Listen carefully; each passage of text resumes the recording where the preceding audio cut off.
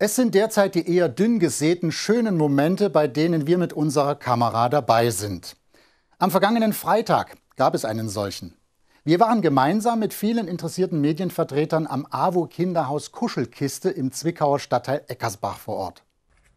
Mit dabei der Vorstandsvorsitzende der Sparkasse Zwickau Felix Angermann. Auf Initiative der Sparkasse fand dieser Termin statt. Herr Angermann, es heißt so schön, ein Mann sollte ein Haus bauen, ein Kind zeugen und einen Baum pflanzen. Wie kann man das denn abwandeln auf die Sparkasse Zwickau, auf die Aktion von heute? Schwierig. Also ich habe stellvertretend heute für einen dann sehr alten Mann einen Baum gepflanzt oder für eine sehr alte Dame. Die Sparkasse Zwickau ist nämlich 175 Jahre geworden dieses Jahr. Und anlässlich dieser äh, Feierlichkeit haben wir gesagt, wir wollen mit unseren Kunden feiern. Das ist ein bisschen ins Wasser gefallen dieses Jahr. Aber wir wollen auch was machen, was nachhaltig in Erinnerung an diesen Tag bleibt. Das war der 16.04. diesen Jahres.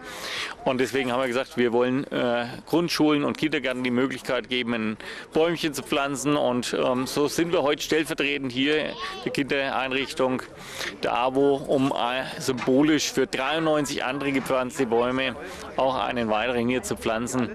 Und das soll nachhaltig eben an unser Jubiläum erinnern. Und ich denke, was ist Schöneres, als auch mit Kindern Kindern zu feiern.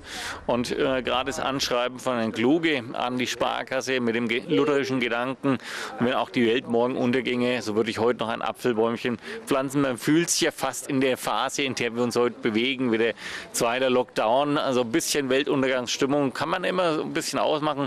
Und ich finde, der Apfelbaum ist ein wunderbares Zeichen der Hoffnung, wie auch jetzt die Zeit, in die wir uns bewegen, Adventszeit, das ist ja auch eine Zeit der Hoffnung und Freude. Und insofern wünsche ich natürlich auch, wenn es ein bisschen vorfrüh ist, erstmal eine gesegnete Adventszeit all Ihren Zuschauern ein frohes und gesegnetes Weihnachtsfest und alles Gute für das neue Jahr 2021, in dem hoffentlich dann wieder mehr Begegnung möglich ist. Um den Jüngsten der Einrichtung einmal anschaulich zu demonstrieren, wie so ein Bäumchen gepflanzt wird und wie man es richtig pflegt, war ein ausgewiesener Fachmann mit vor Ort. Ja, Herr Schupp, Sie haben heute den Kindern und Anwesenden sehr schön erklärt, wie man einen Baum pflanzt. Warum gerade im Herbst? Herbst ist die klassische Pflanzzeit für Obstbäume, Rosen äh, und Heckenpflanzen. Hat den Hintergrund, dass ähm, mit der Herbstpflanzung erreicht wird, dass die ähm, Gehölze schon erste Wurzeln bilden, äh, die dann im Frühjahr sofort im März zur Verfügung stehen, sodass das äh, Wachstum wesentlich äh, besser vonstatten geht, als wenn die Pflanzung dann erst im ähm, April oder Mai ähm, stattfindet. Vor allen Dingen ist das der Fall äh, bei Pflanzen, die wurzelnackt sind. Bei Pflanzen im Topf ist das nicht ganz so ausgeprägt. Das ist ja noch ein relativ kleines Bäumchen. Wir haben einfach symbolisch mal ein Körbchen mit Äpfeln daneben gestellt. Kann man damit rechnen, dass der Baum im nächsten Jahr schon Früchte trägt?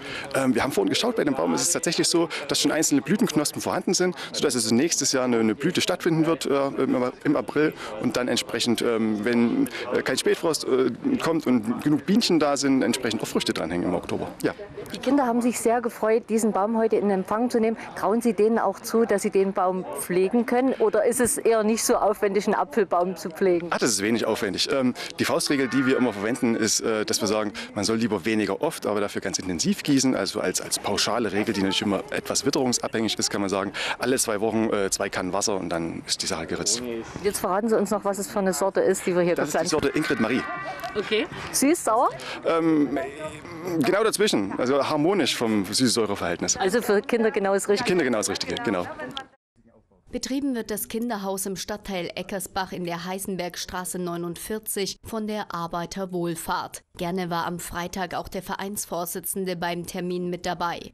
Auf jeden Fall, das ist tatsächlich eine Kita unserer AWO in Zwickau und wir sind natürlich sehr froh, dass die Sparkasse uns hier so bedacht hat mit einem Apfelbaum. Hat ja auch ein Stück weit was Nachhaltiges, ein Apfelbaum, er trägt Früchte. Das wollen natürlich die Kollegen hier in der Kita auch, dass die Arbeit Früchte trägt, die sie am, am Kind dort leisten. Und ja, wir versuchen sehr auf Nachhaltigkeit zu setzen. Das heißt, zum Konzept passt es auch gut. Wir werden es natürlich mit Regenwasser gießen. Das sammeln wir extra hier von den Dächern. Und ich denke, das passt einfach gut zusammen. Wie ist denn derzeit äh, in Corona-Bedingungen die Situation hier in, hier in der Einrichtung? Also die Situation ist natürlich schon angespannt. Also wir haben jeden Tag neue Nachrichten, wir haben Verordnungen, die beachtet werden müssen. Es gibt natürlich auch ähm, positive Fälle im Bereich der Eltern, der Erzieher und den, im Umfeld der Einzelnen. Und das muss alles ein Stück weit berücksichtigt werden. Es muss eigentlich jeden Tag neu eingeordnet werden, wie, wie ist die Situation. Und da gibt es natürlich auch immer mal Überraschungen, wo wir dann handeln müssen. Aber bis jetzt, toi, toi, toi, haben das die Kollegen immer sehr gut hinbekommen und am Ende doch jede Situation gemeistert, auch wenn manches ein bisschen durcheinander war. Aber es ist ja auch schön, dass die Kinder hier nach draußen können. Wir sehen es, hier ist noch einiges im Aufbau. Aber das ist ja gerade wichtig, an die frische Luft zu gehen. Und deshalb kommt dieser Apfelbaum wahrscheinlich gerade richtig. Genau, also wir haben hier an der Kuschelkiste ein sehr großes Grundstück, auf dem man auch viel veranstalten kann, an dem wir viel machen können. Das, das tun wir auch. Die Erzieher, der Herr Kluge und sein Team lassen sich da ganz viel einfallen. Das ist auch sehr innovativ. Natürlich sind noch viele Sachen dabei, wo man dann nach ein paar Jahren mal wieder drüber nachdenken muss, ob man das nicht wieder ändert. Aber da ist ja ganz viel Bewegung immer drin. Es war schön mit anzusehen, mit wie viel Eifer die Kinder bei der Sache waren, das Apfelbäumchen richtig einzupflanzen und dann zu wässern. Wir haben einmal nachgefragt. Ja, ihr seid ja heute von der Sparkasse Zwickau überrascht worden und habt einen Apfelbaum gemeinsam gepflanzt. Wie war das denn? Schön. Cool. Schön. Und ihr habt die Schaufel in die Hand genommen. Habt ihr auch was gelernt, was wichtig ist, wenn man einen Apfelbaum pflanzt? Ja, Und was? wir, wir gut aufpassen müssen. Und trägt er denn nächstes Jahr schon Früchte? Ja, Und esst ihr die Äpfel dann? ja, Und äh, denkt ihr dran, den Apfelbaum zu gießen? ja. Machst du das auch? Dann wünschen wir euch ganz viel Spaß. Winkt mal in die Kamera.